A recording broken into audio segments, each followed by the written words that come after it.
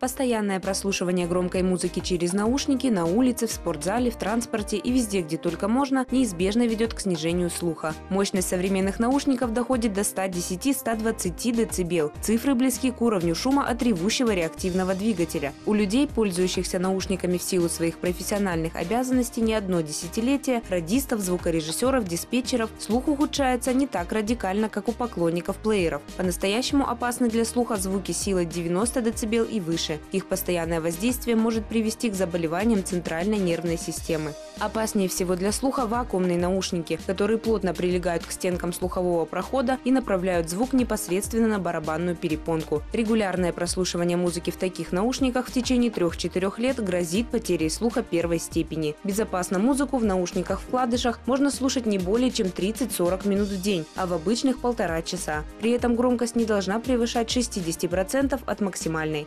Отоларингологи утверждают, две и более порции рыбы в неделю уменьшают риск ухудшения слуха на 42%. Также для профилактики важны мононенасыщенные жиры, например, оливковое масло или авокадо.